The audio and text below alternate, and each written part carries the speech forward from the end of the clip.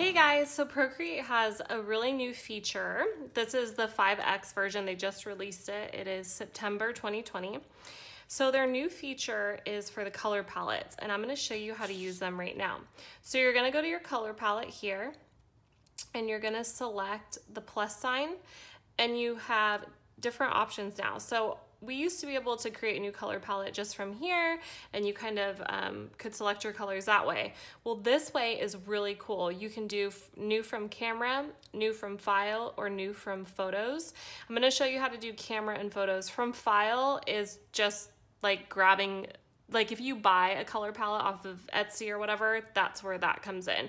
So it's kind of self-explanatory there, but let's do new from camera.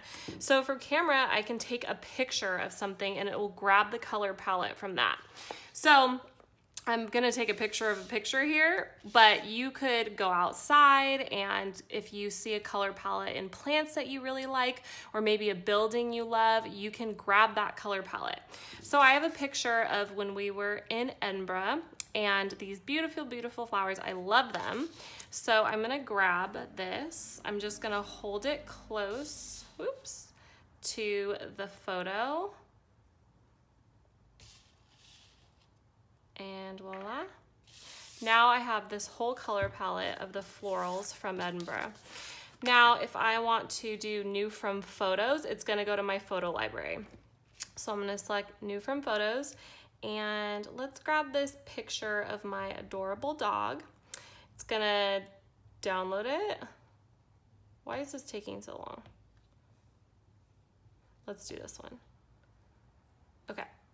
And there we go. That's the palette of my cute little corgi.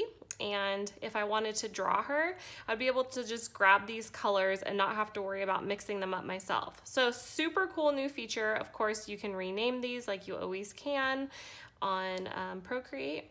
And I hope you guys find this feature useful. Let me know how you've used it and um, if you love it as much as I do.